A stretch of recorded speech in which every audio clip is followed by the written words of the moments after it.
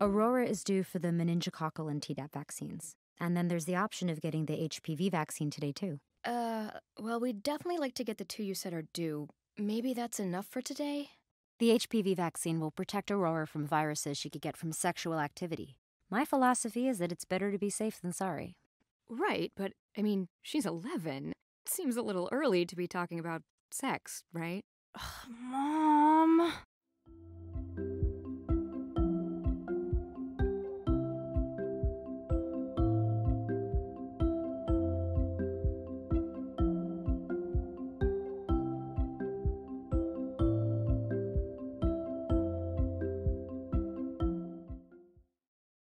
There's nothing to worry about. The HPV vaccine is very safe. Over 90 million doses have been administered in the US, and studies have shown it to be incredibly effective.